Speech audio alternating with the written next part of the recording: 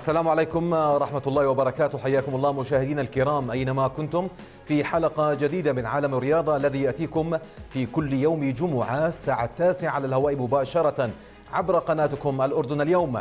وقبل صافرة البداية والانطلاق في هذا البرنامج نستعرض وإياكم أبرز العناوين والمحاور لهذه الحلقة. الجزيرة يقدم نجومه للموسم القادم معلنا التحدي.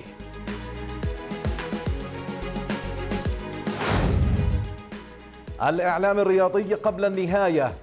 نظرة متفائلين وحسابات شخصية تثير الجدل.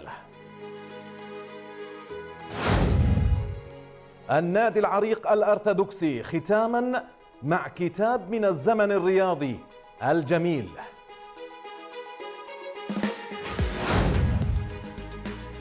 نشام منتخب السلة عيون على آسيا وإنهاء الخلاف المادي مع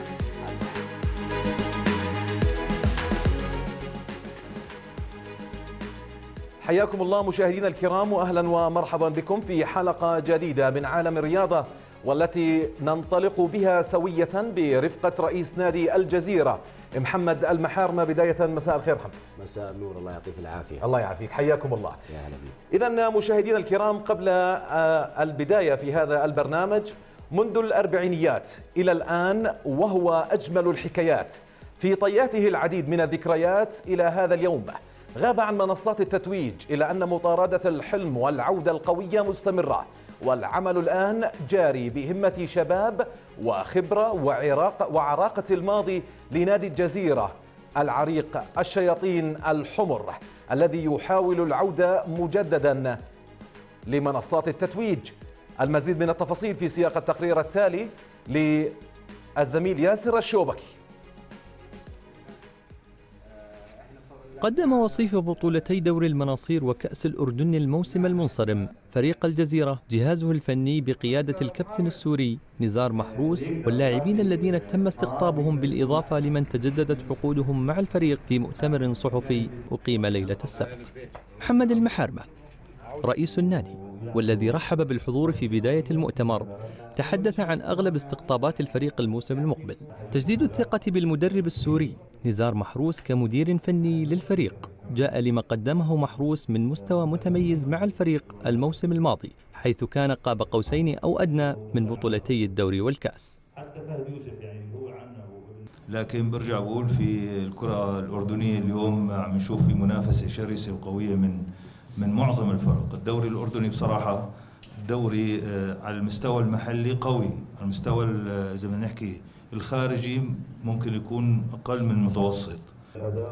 هذا وتم تقديم صفقات الجزيرة التي تمثلت بكل من اللاعبين مهند خير الله وعامر أبو هضيب وزيد جابر ومحمد طنوس عبد الله العطار وأحمد سمير. أكيد يعني أنا رجعت لنادي الجزيرة لحصد البطولات إن شاء الله السنة هاي. ونادي الجزيرة أنت عارف نادي عريق ونادي وبيتي القديم والجديد. بإذن الله إن شاء الله نقدر على حصد هذه البطولات. وأكيد يعني إحنا واللاعبين الجهاز الفني تعهدنا اليوم إنه نبلش من أول موسم إن شاء الله بهمة عالية. بالإضافة لاستقطاب المهاجم السوري الشاب شادي الحموي وأحمد العيساوي وإبراهيم جوابرة وحارس مرمى الرمث الأسبق عبد الله الزعبي والتجديد مع نجم خط الوسط عصام بيضين. نادي الجزيرة نادي كبير. أي لاعب بتمنى يعني يكون بهيك فريق بهيك صفوف هيك الفريق.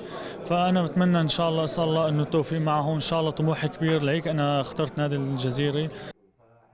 هذا وتحدث المحارمة في معرض رده على استفسارات الإعلاميين المتواجدين في المؤتمر الصحفي عن طي صفحة تعليق المشاركة في البطولات القادمة وذلك بعد الاعتراض على القرارات التحكيمية التي أفقدت النادي البطولات على حد تعبير إدارة الجزيرة.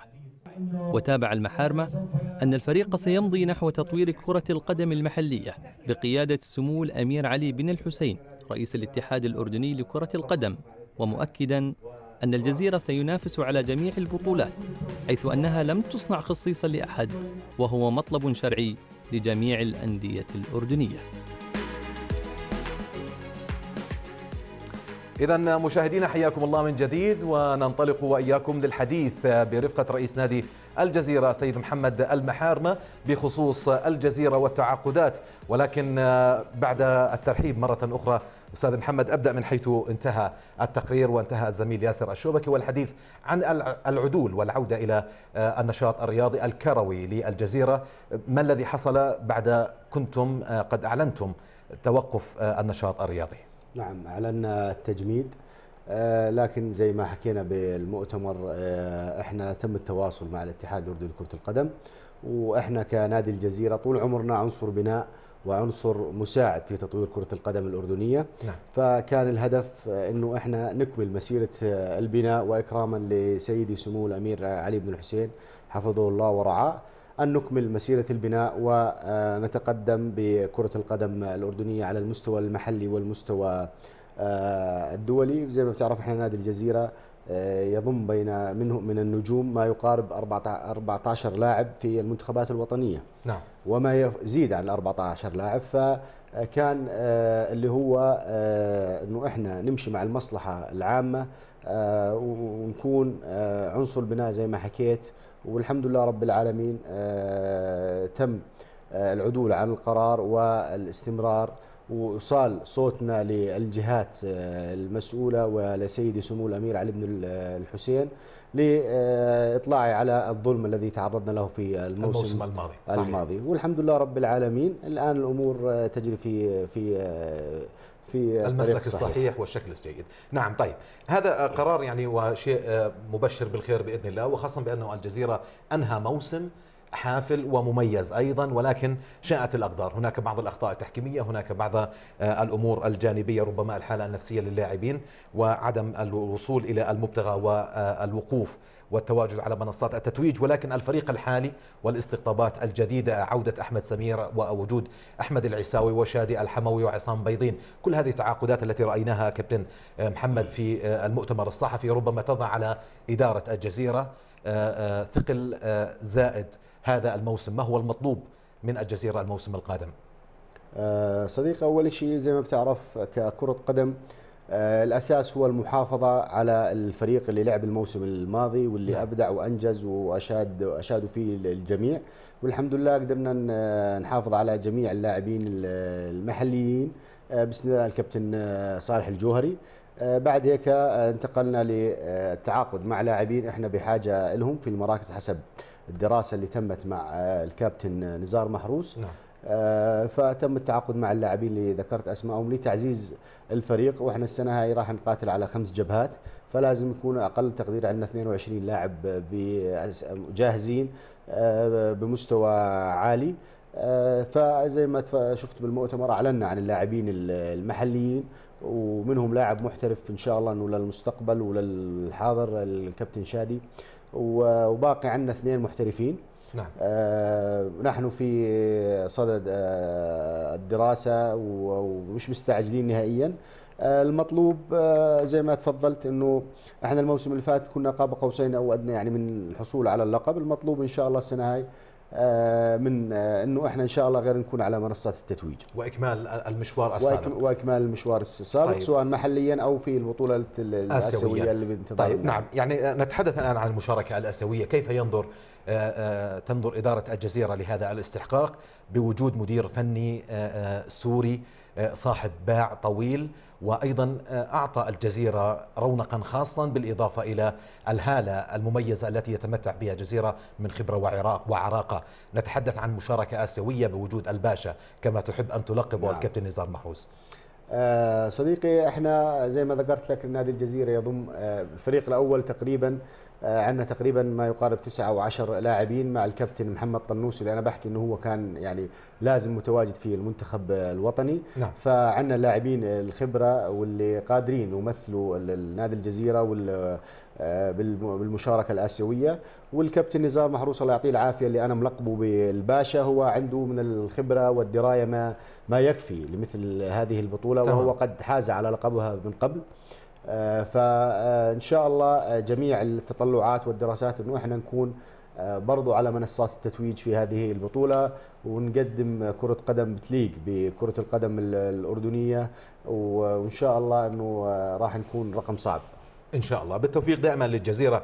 ولكن آه، كابتن آه، محمد نتحدث عن آه، ربما الموسم الماضي إذا عدنا وخرجنا من ملف التعاقدات. هناك مشوار طويل داخليا وخارجيا اسيويا تلميحات عن التعاقدات الجديدة. ربما هناك أيضا العناصر الشابة يركز عليها الجزيرة. الجزيرة ربما كان هناك تعاقد مع إحدى لاعبي منتخب الأولمبي أيضا.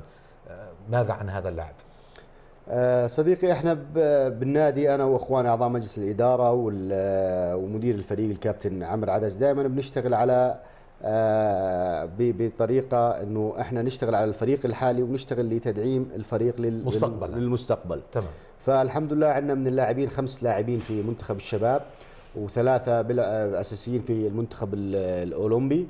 والسنة هاي قدرنا إنه إحنا نشرك الكابتن نور روابده والكابتن يزن أبو عرب بالفريق الأول اللي بنحكي الموسم الماضي. تمام. وكانوا مميزين ونجوم والحمد لله آه، قدرنا إنه إحنا نستقطب أحد نجوم آه، المنتخب الأولمبي لكن الصفقة في نهاياتها وفي اللمسات ما في الأخيرة. عن الإسم. فلسه إحنا بس ننجز المهمة إن شاء الله راح نعمل آه، آه، نعمل تقديم لهذا اللاعب. تقديم مع المحترفين إن شاء الله. تمام إن شاء الله. طيب يعني ان عدنا إلى ذاكرة الموسم الجميل الموسم الماضي بالرغم من مرارته ولكن ما هي أجمل اللحظات لمحمد يحيى كجزيرة الآن آه، في الموسم الماضي؟ ما هي أجمل اللحظات التي كنت بها في الموسم الماضي بالرغم من يعني عدم اكتمال الفرحة؟ آه، صديقي أنا بآمن دائما أنه آه، التاريخ لا يعترف إلا بالبطل ولا يعترف إلا بالرقم واحد. لذلك إحنا دائما نظرتنا للرقم واحد. وأجمل اللحظات الموسم القادم آه، لحظات كلها كانت جميلة. بفضل الله تصدرنا الدوري لمرحلة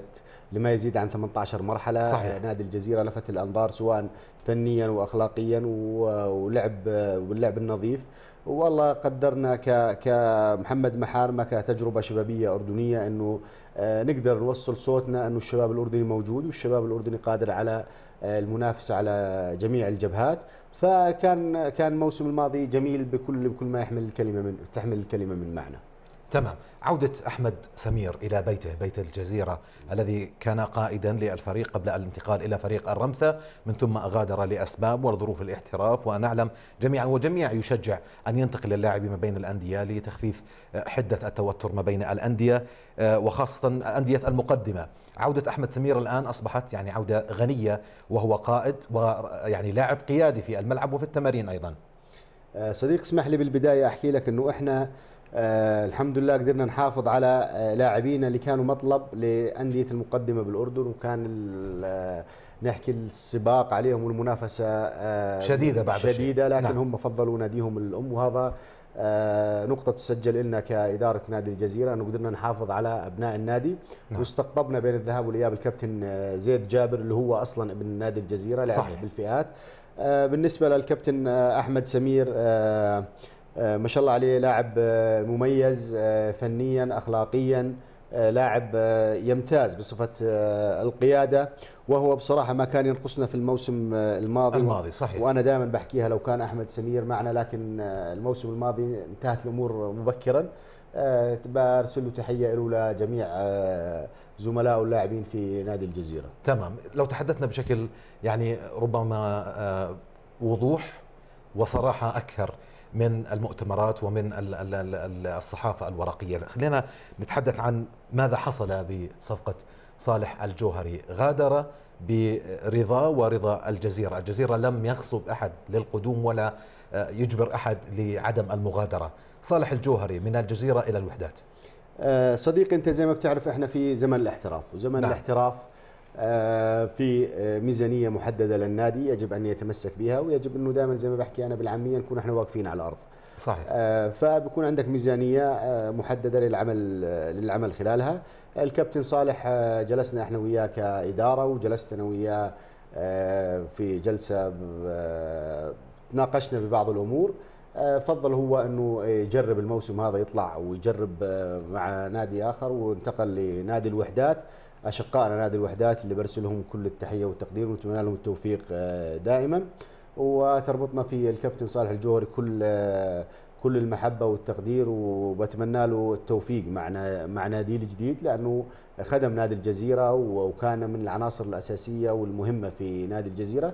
لكن أجمل ما في الاحتراف إنه إنه اللاعب بيقدر ينتقل للنادي اللي بده إياه كذلك النادي بيقدر ينوع ويشوف. هلا إذا فكان القرار إنه الكابتن صالح إنه يغادر النادي من الطرفين يعني كان بالتراضي. بالرضا. بالرضا والتراضي وما في بيننا إلا كل خير ومحبة. تمام. وبرسل له كل تحية من هذا المنبر. تمام. أحمد أحمد سمير غادر وعاد. إن كانت نعم. هناك بعد هذا المرحلة لصالح الجوهري وهو من أحد النجوم الذين ترعرعوا ونشأوا في نادي الجزيرة. هل مرحب بعودة صالح الجوهري إلى الجزيرة مرة صديقي هذا الجزيرة هو بيت الكابتن صالح الجوهري تمام. فما بنقدر إحنا الواحد لما يرجع بيته ما حدا بيقدر إلا يكون صدر الدار زي ما بيحكوها بالعامية. 100% طيب أبو اللحية نتحدث أيضا عن نقطة مهمة جدا. يعني ربما أصبحت مزودات كثيرة بارتفاع أسعار أسعار اللاعبين والعقود يعني بالرغم من ارتفاع الحرارة. والأجواء ودرجات الحرارة في الأردن إلا أنه أيضا شهدنا بعض ارتفاعات مبالغ فيها لبعض اللاعبين مع احترامنا لقيمة اللاعب الأردني لأنه محليا مبالغ فيها، صحيح. هل ابتعدت جزيرة أو وضعت جزيرة سياسة خاصة للابتعاد عن هذه المبالغ الطائلة؟ أه صديقي أه بفضل الله تعالى أنا دائما بحكيها أنه إحنا هدفنا هو تطوير كرة القدم الأردنية وايدنا بايد جميع الأندية اللي بتنافس سواء بالمحترفين أو بالأندية بالدرجات الأخرى. نادي الجزيرة حافظ على سياسة السعر الثابت والموحد. كان عندنا نعم. سقف محدد سقف معين ضمن الميزانية. اشتغلنا عليها حتى باستقطاباتنا حتى بترفيع اللاعبين اللي انتهت عقودهم. ومع ذلك ما طلعنا عن السقوف. لأنه بالنهاية في أندية ثانية عندها سبونسرز عندها دخل جماهيري عندها أمور كثيرة تقدر إنها تدفع مبالغ. لكن أنا بالنهاية كمحمد محارمه وكنادي الجزيرة إحنا كنا منطقيين وواقعيين. تمام. وحسب المتفق عليه مع جميع مع الجميع. والحمد لله توفقنا لمحبه اللاعبين للعب ولتمثيل نادي الجزيرة هاي السنة. كانت الأمور سهلة وسلسة. تمام. سؤال وبكل صراحة افتتاحية الموسم ستجمع الفيصلي والجزيرة من جديد. ما هي التوقعات وما هو المطلوب من لاعبي الجزيرة؟ أول شيء اسمح لي أبارك لإخواننا بنادي الفيصل الفوز بلقب الدوري ولقب الكأس وبتمنى لهم التوفيق في البطولة البطولة العربية المقامة في مصر. أندية نادي الجزيرة سواء ونادي الفيصل أندية عريقة أندية كبيرة بتضم بضموا معهم نجوم كرة القدم الأردنية بتمنى إنه إحنا نقدر نقدم مباراة تليق بسمعة الناديين ونسعد الجماهير المطلوب دائما أنا المطلوب منا إنه إحنا دائما أنا إحنا دائما نطالب بالفوز. وإن شاء الله تكون مباراة جميلة لافتتاحيه موسم ناري قادم زي ما بحكيها. إن شاء الله. المنافسة فيه على على أشدها ومع في أندية كثير موجودة وأندية طموحة فليس الجزيرة وحيدا ولا باقي الأندية وحيدة. ستكون منافسات شرسة في الموسم القادم. تمام. هل تم التأكيد على إقامة مباراة أمام الوحدات لاعتزال عامر ذيب أم بعد؟ إحنا بنتشرف أول شيء بانه إحنا نكون طرف من أطراف مباراة اعتزال الكابتن عامر ذيب وبنتمنى له كل خير. لاعب قدم الكثير لكرة القدم الأردنية سواء مع نادي الوحدات أو المنتخب الوطني. فأنا على المستوى الشخصي بحترمه وبكن له كل الاحترام. نعم. وكنادي الجزيرة ونادي الوحدات هم دائما أشقاء ودائما يعني مع بعضنا البعض. فإن شاء الله أنه إحنا أحد الأطراف إذا وتكون الأمور نقدم مباراة تليق باسم الكابتن عامر ذيب إن شاء الله. قبل الختام رسالة إلى جماهير الجزيرة المتعطشة للوقوف على منصة التتويج. أول شيء بقول لهم الله يعطيهم العافية وبعرف إحنا السنة اللي فاتت كنا قريبين من تحقيق الحلم.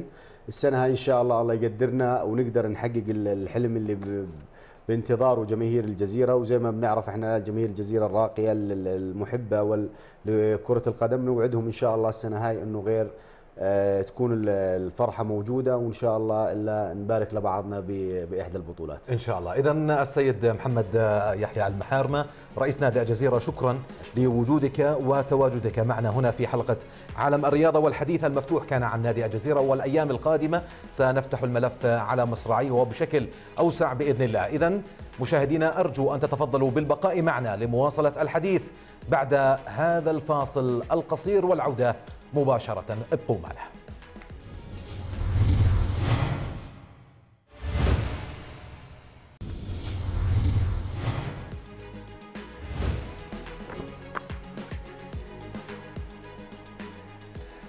حياكم الله من جديد واهلا ومرحبا بكم. من بعد نادي الجزيرة ننتقل الآن للحديث عن قضية ربما أخذت نوعا ما من الجدلية.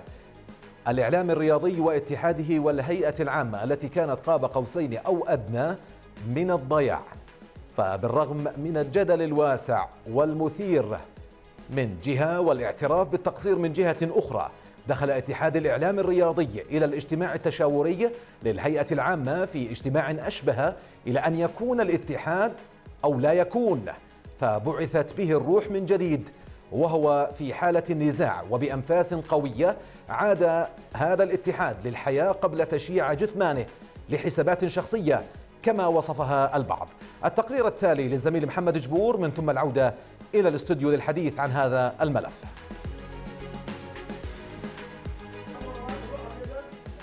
تحت سقف واحد التأمت الهيئة العامة للاتحاد الأردني للإعلام الرياضي في اجتماع الفرصة الأخيرة لإنقاذ الاتحاد من على حافة الانهيار. 71 عضوا من أصل 121 حضروا الاجتماع الذي كان ساخنا وشهدت نقاشاته العديد من المشادات الكلامية الحادة. كلنا واحد يا اخوانا كلنا واحد. بعيدا عن الضغائن الشخصية أجمع زملاء مهنة المتاعب على ضرورة إنهاء مرحلة الضعف والنظر إلى المستقبل. لإعادة الاتحاد إلى مكانته الطبيعية. يعني إحنا يعني اليوم أنا بتهيألي وجهنا رسالة ود ومحبة للجنة الأولمبية بأنه ال- اللجنة ال- أو الاتحاد الأردني للإعلام الرياضي أو الهيئة العامة للاتحاد الإعلام الرياضي الأردني آه، يعني اجتمعت آه، ورغم أنه الاجتماع تشاوري لكنها آه، تحملت مسؤوليتها وقدمت ما تريده اللجنة الأولمبية واللي بنأمل يكون مؤثر على النظام الأساسي اللي أو مشروع النظام الأساسي للاتحادات النوعية اللي بده تعملها اللجنة الأولمبية. أبرز ما تمخض عنه الاجتماع هو رفع مقترح لمشروع نظام جديد للاتحاد إلى اللجنة الأولمبية لاعتماده بشكل رسمي وتحديد موعد للانتخابات القادمة.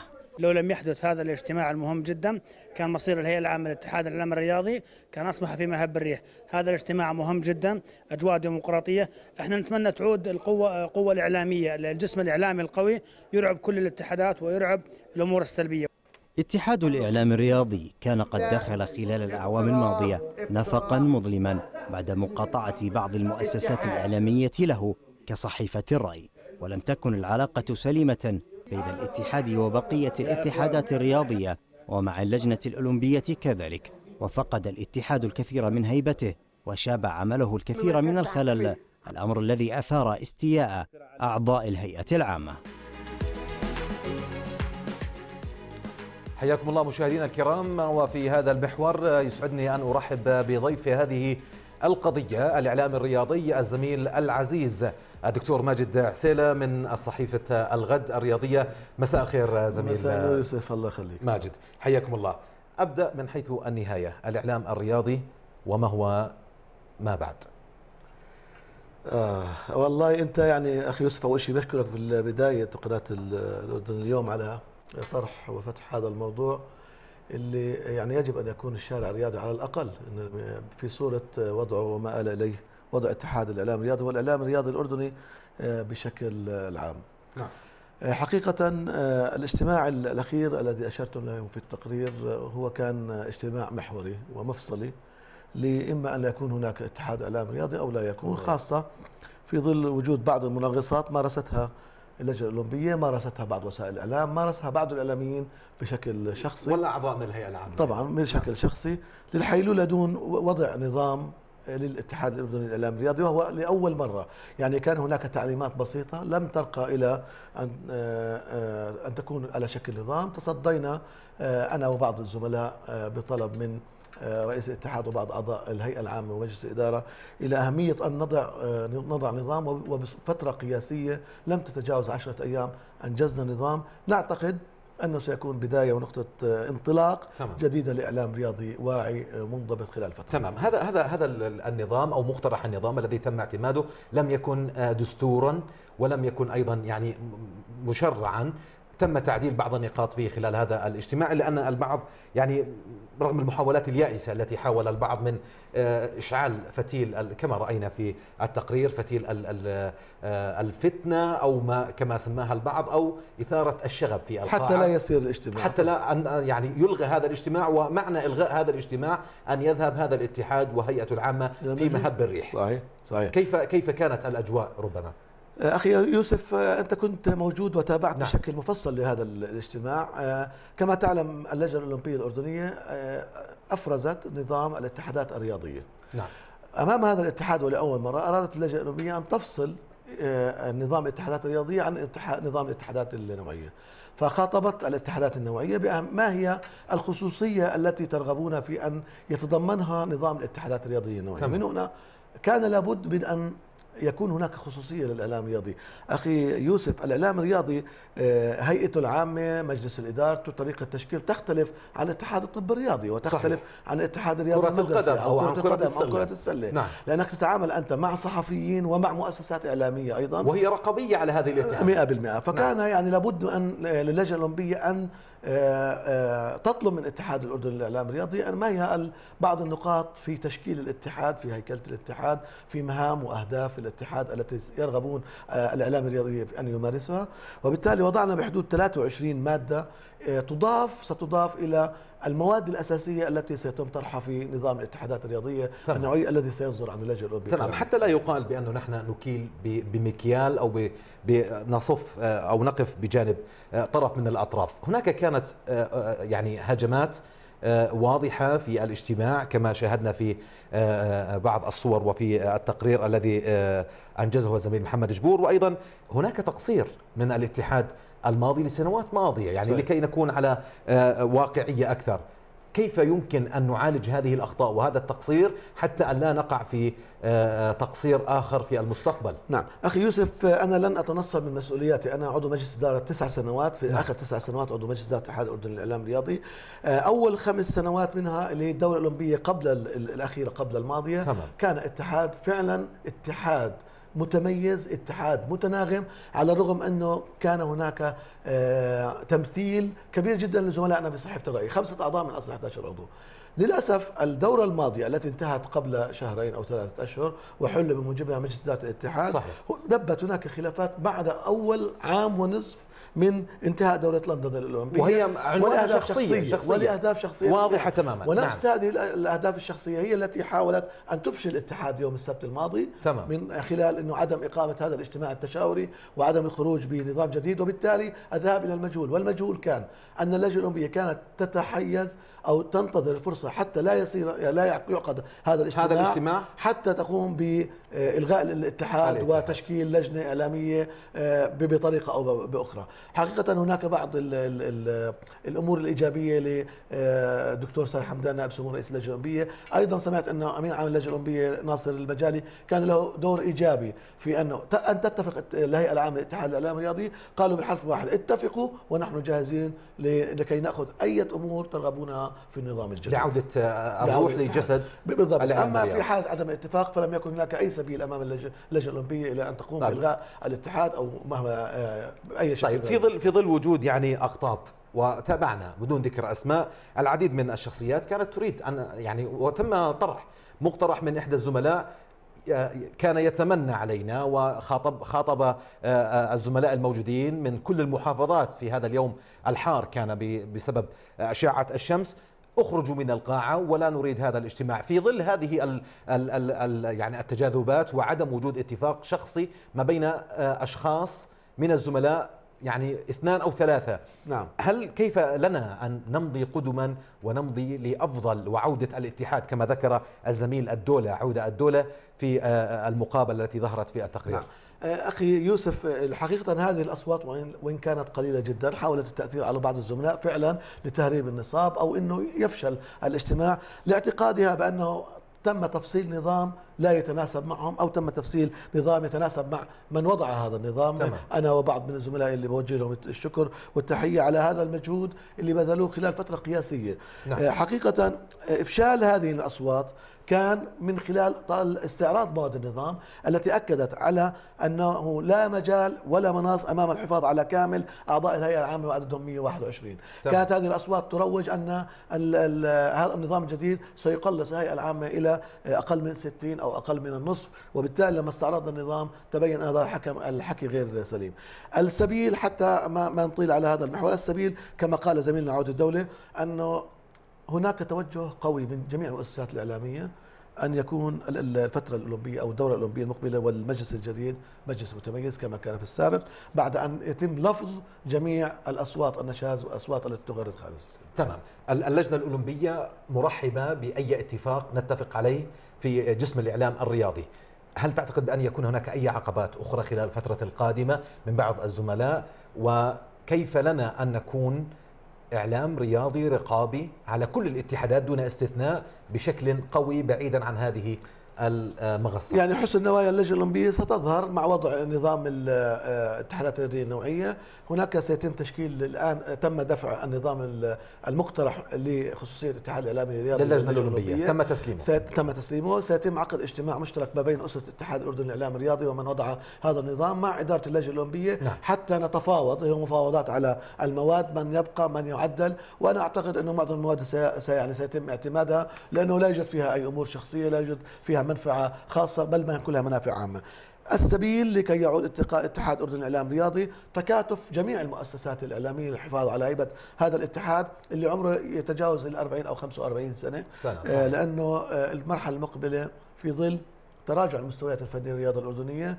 آه لابد أن يبقى اتحاد الاردني للاعلام الرياضي يروج للإنجازات وإن كانت بسيطة لأنه إحنا بشهادة الجميع أن الإعلام الأردني أكبر من الرياضة الأردنية وأكبر من انجازاتها طيب دكتور ماجد يعني آه، سنبقى أيضا ربما آه، في آه، ترافقني أيضا للحديث في المحور الآخر وهو النادي الارثوذكسي اذا مشاهدينا إلى هنا نأتي إلى ختام ملف الإعلام الرياضي والهيئة العامه في اتحاد الإعلام الرياضي. اذا فاصل قصير ونفتح ملف النادي الارثوذكسي الذي أعلن عن توقف وتجميد نشاطاته الرياضية.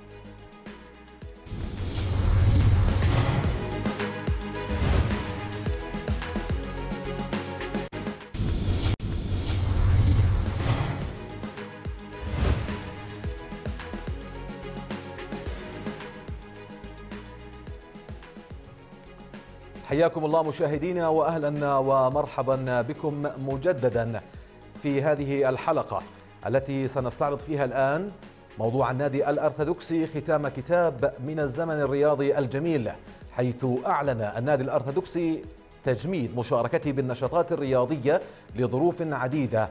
النادي الذي أعلن هذا القرار بمؤتمر صحفي الذي عقده في مقر النادي في منطقة عبدون ببحر الأسبوع الماضي. المزيد من التفاصيل في التقرير التالي. عام 1952 تأسس الأرثوذكسي والحديث هنا عن النادي العريق الذي امتلأت خزائنه بالكؤوس وقدم للرياضة الأردنية خيرة الأبطال والرياضيين في مختلف الألعاب. اليوم تتخذ إدارة النادي قرارا تاريخيا يقضي بتجميد النشاط الرياضي.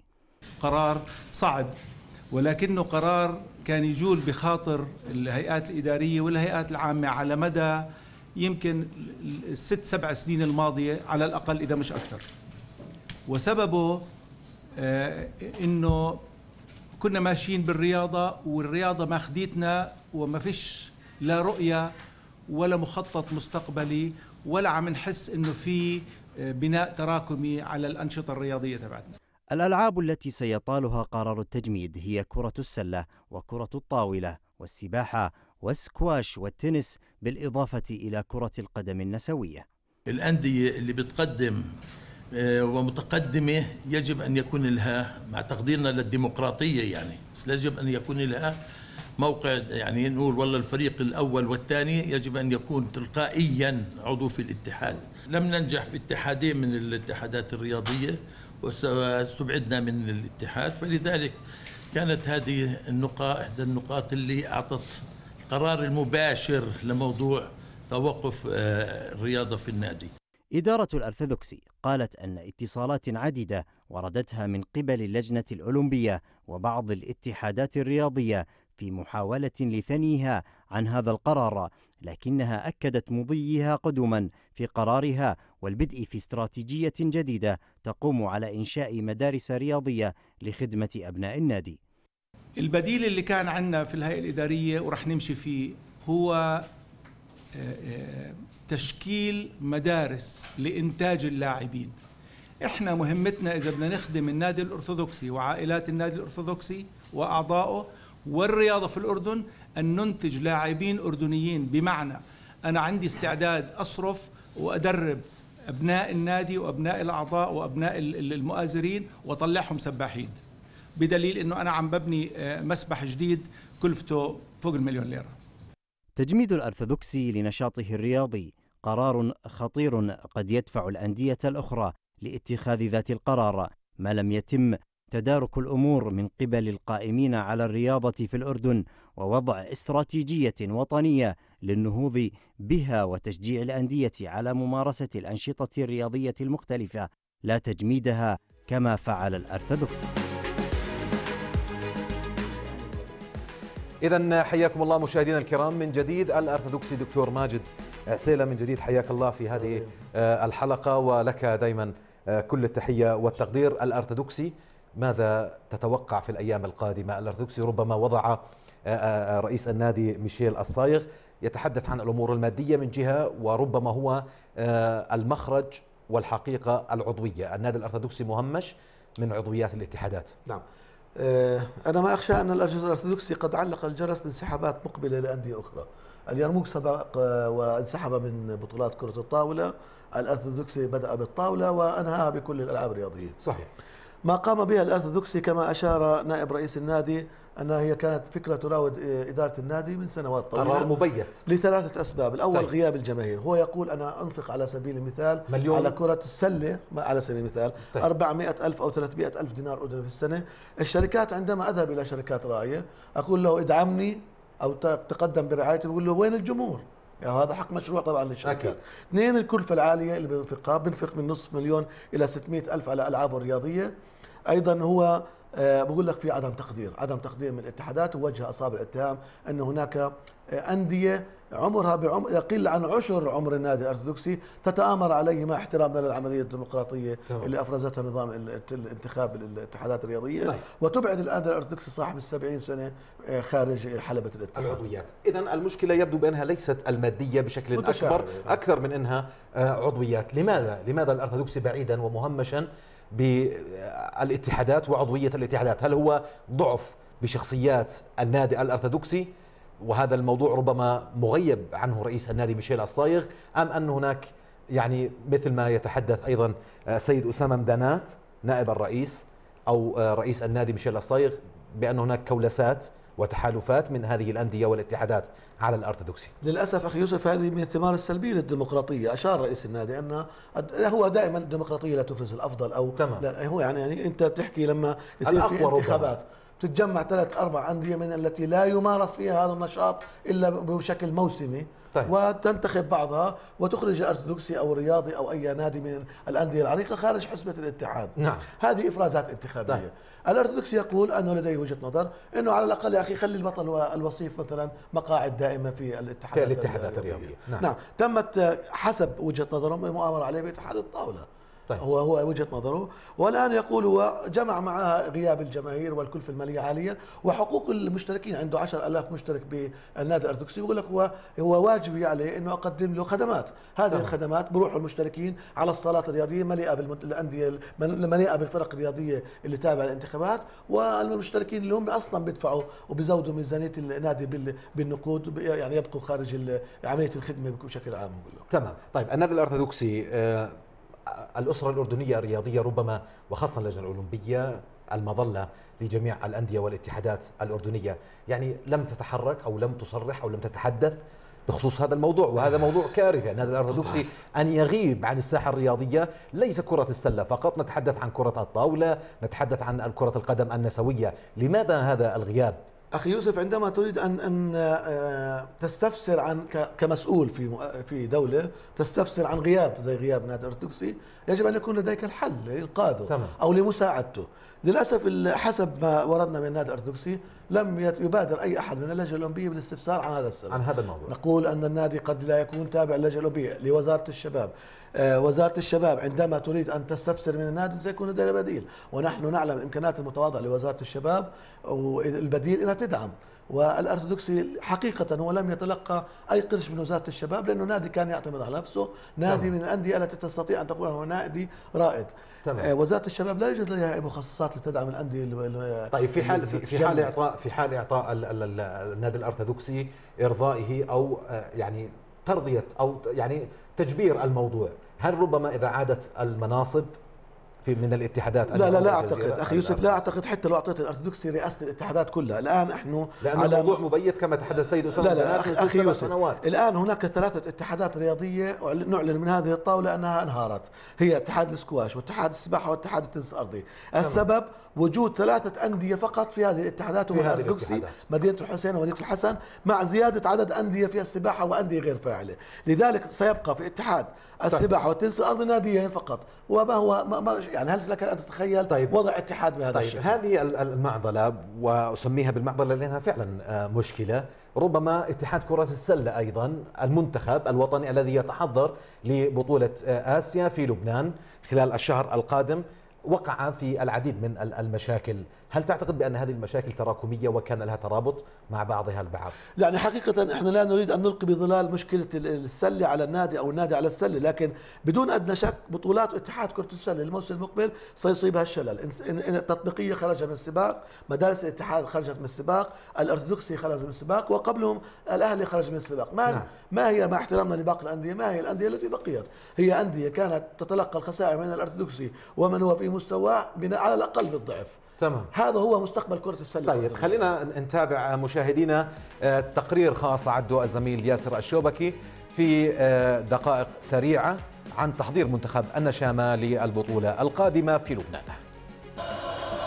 بعد عملية الشد والجذب بين الجهاز الفني لمنتخبنا الوطني والاتحاد الأردني لكرة السلة انفرجت الأزمة المالية بين الطرفين والتأمت كتيبة المنتخب في التمرين الأول بقيادة المدرب المحلي سام دوغلاس استعدادا لنهائيات آسيا والمقامة في لبنان خلال الفترة من الثامن وحتى العشرين من آب المقبل إضافة إلى تصفيات كأس العالم والتي ستقام في الصين 2019 وأخيرا المنتخب تجمع آه طولنا كثير عمل ما تجمعنا بس دائما بنقول الحمد لله إنه اللعيبة رجعوا على الملعب رجعوا محل اللي هم فاميليار وذ ومبسوطين هلأ. فهلأ أهم شيء إنه بنبلش نحضر حالنا يعني عندنا شهر عندنا أقل من 30 يوم. نحضر حالنا لبطولة كبيرة هيك. فإن شاء الله يعني الشباب ما راح يقصروا. وطبعا الجهاز الفني إحنا قدها وأثبتنا بآخر ثلاث بطولات إنه إحنا قد المسؤولية. هلأ القصة المالية مع اتحاداتنا يعني دائما يعني إحنا مظلومين فيها لعبة السلة. يعني آه بدنا دعم بدنا دعم شركات يدعمونا. آه بس إنه هي من وراء سام دغلس؟ لا مش من وراء آه، سام دغلس. تعرف أجانا اتحاد جديد وطولوا قبل ما ينقوا مين رئيس الاتحاد. فهاي كلها طولت من من تجميع المنتخب. التمرين الأول لنشام السلة. برز فيه ظهور عدة أسماء تم دعوتها من الجهاز الفني لتحدث إضافة لمنتخب السلة. أمثال جوردن الدسوقي وسامي بزيع وأمين أبو حواس من أمريكا. ودعوة سنان عيد محترفنا بالدوري التركي بالإضافة لوجود لاعب الخبرة أمثال موسى العوضي وأحمد حمارشة. كان تجمعنا شوي كان متأخر يعني وخاصة بطولة لبنان ضايلها شهر لكن آه، إحنا هدفنا الأساسي يعني صراحة هو تصفيات كأس العالم وتأهل لكأس العالم. عندنا ما شاء الله جيل شباب كثير ممتاز مع نمزجوا مع الخبرة مع مدرب خبرة صراحة. أعتقد هاي البطولة حتكون هي المحطة الأولى اننا تصفيات كأس العالم وكأس العالم. خصوصا إنه هلأ إحنا ما عندنا وقت صراحة لهي البطولة تحديدا. ضايل عندنا ثلاث أسابيع أربع أسابيع. حتكون هي المحطة الأولى. معسكر في حيكون قبلها وبعديها راح يكون سداتنا أحسن من هيك. وإن شاء الله يكون عندنا فرصة تأهل لكأس العالم إن شاء الله. أحمد الدويري. لاعب فنار بخشة بطل أوروبا والذي يعد مطلبا جماهيريا. رفض الالتحاق بتدريبات المنتخب لأسباب تتعلق بإقامته في تركيا في إشارة لعدم مشاركته مع بعثة منتخبنا في لبنان بينما يتغيب زيد عباس للإصابة. ويعتمد دوغلاس على محمد شاهر وعلي جمال كلاعبين خبرة في المنتخب الأول. التجمع اجى كثير متأخر بس الحمد لله إنه تجمعنا يعني قبل إحنا دائما اخر آخر سنتين كنا نتجمع قبل البطولة بشهر. هذا ما بكفي التدريبات بس الحمد لله انه تجمعنا والعدد اللي انت شايفه كثير كبير. آه راح نتمرن إحنا بكل ما بنقدر يعني كل شيء راح نقدر نعطيه راح نعطيه في الملعب. ما راح نقصر بس محتاجين اللي هو الدعم ماديا ومعنويا. معنويا كثير نحن محتاجينه. ما بين الاستحقاق الآسيوي والبطولة العالمية محطات كبيرة يجب أن يقف عندها الاتحاد الأردني لكرة السلة والجهاز الفني لإعادة الألق إلى السلة الأردنية والتي تعاني من أزمة حقيقية ما بين أركانها خاصة مع انعدام ثقة الشارع الرياضي الأردني. حياكم الله مشاهدينا الكرام. اذا العودة إلى الزميل وضيفي العزيز الدكتور ماجد عسيلم. دكتور نتحدث يبدو بانه منتخب السلة أيضا لم يجتمع ولم يتدرب وللأسف بقيادة مدرب وطني ولاعب ابن اللعبة. إلا بدفع المستحقات. أزمة مالية وأزمة مالية في الارثوذكسي لماذا لا يكون هناك آه، يعني خلينا نحكي لجنة أو مكتب أو آه، يعني اطلق نطلق عليها ما ما ما نشاء لإدارة الأزمة الرياضية. أشكرك وأنت يا أخي يوسف يعني أفكارك خلاقة حقيقة من فترة كنا بجلسة رياضية وتم التطرق إلى أهمية وجود صندوق للأزمات الرياضية في الأردن تمام. لا يعقل أن يكون دخل اللجنة الأوروبية 15 مليون ولا يتم اقتطاع 5% 3% في من موازنة كل عام أي نسبة. لازمات تمام. صاله رياضيه تنهار عندك لاعب زي أبو غوش الآن. هل تعلم أنه اللاعب أبو غوش يلفق عليه من الاتحاد؟ اينما يكون لكن الجزء الأكبر بإحدى الشركات الاتصالات. الخاصة 100% لو كان موجود هذا صندوق الازمات الآن الفيصلي سيتجه إلى القاهرة وصندوقه الآن يعاني. لو موجود صندوق هذا الأزمات كان ممكن انك تدعم الفيصل طيب. تدعم الوحدات خلينا بجو الارثوذكسي والمدرب سام دغلاس. كيف. عاد وأقام التمرين؟ سام دغلاس يعني البعض لامه البعض يعني لم يلومه وقال هاي مسؤولية وطنية لكن نحن نتحدث عن business هذا مدرب محترف. صحيح. لديه مستحقات قيمتها 56 ألف دينار من اتحاد كرة السلة.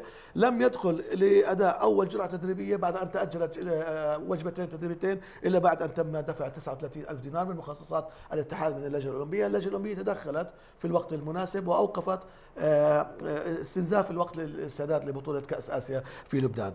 سام دوغلاس أيضا سيتم دفع له في آخر الشهر كمان دفعة وبعد بطولة كأس آسيا دفعة آه، أخيرة. تمام. هذه أزمة. نعم. الاتحاد كرة السلة كان في أزمة في ظل آه، صندوق كان خاوي حقيقة. تمام. نتحدث بعيدا عن الأزمات والمشاكل المنتخب. سنفتح هذا الملف أيضا بشكل أوسع خلال الأسابيع القادمة.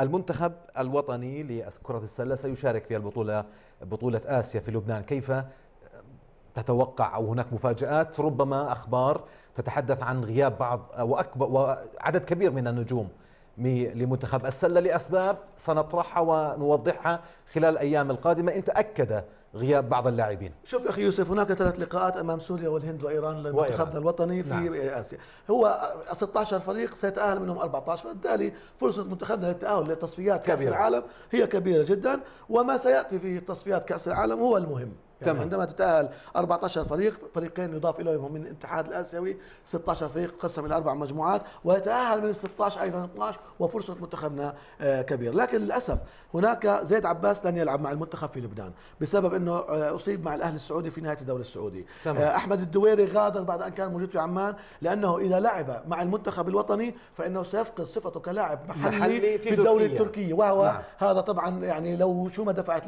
لاحمد الدويري لن يفقد فيه. لكن كما سمعت أن اتحاد كرة السلة في تصفيات كأس العالم سيجبر نعم. الدويري حسب النظام الجديد إن يلعب معه العودة. دار طيب. تكر في هناك try out له في اختبارات في أحد الأندية الأمريكية, الأمريكية. وهو لاعب مؤثر ومهم جدا وإذا تم التعاقد معه في هذا النادي الأمريكي لن يلعب مع المنتخب وعبد الله الصوالح مصاب وبالتالي سنتج إلى لبنان ب 14 تمام. لاعب وتم استدعاء أيضا شكرا. شكرا دكتور ماجد العسيلي اذا مشاهدينا الكرام قبل الختام هذا تذكير بأبرز العناوين لهذه الحلقة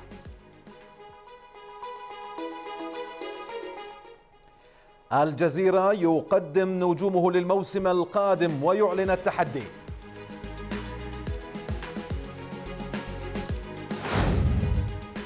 الإعلام الرياضي قبل النهاية نظرة متفائلين وحسابات شخصية تثير الجدل. النادي الأرثوذكسي ختام كتاب من الزمن الرياضي الجميل.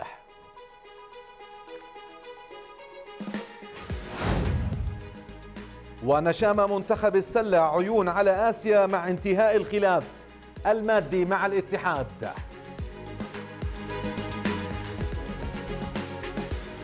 إذا مشاهدينا إلى هنا نأتي إلى الختام. يسعدني أن أشكر الدكتور ماجد عسيلة. شكرا دكتور على وجودك معنا في هذه الحلقة. حياكم الله. وأيضا مشاهدينا تقبلوا تحيات محدثكم يوسف البستنجي. وكل الشكر للزملاء القائمين على هذه الحلقة محمد جبور وياسر الشوبكي. وكل الشكر لمخرج اللقاء منذر جردات وللزملاء في جاليري الحلقة. دمتم بمحبة الله وأمنه وحفظه. إلى لقاء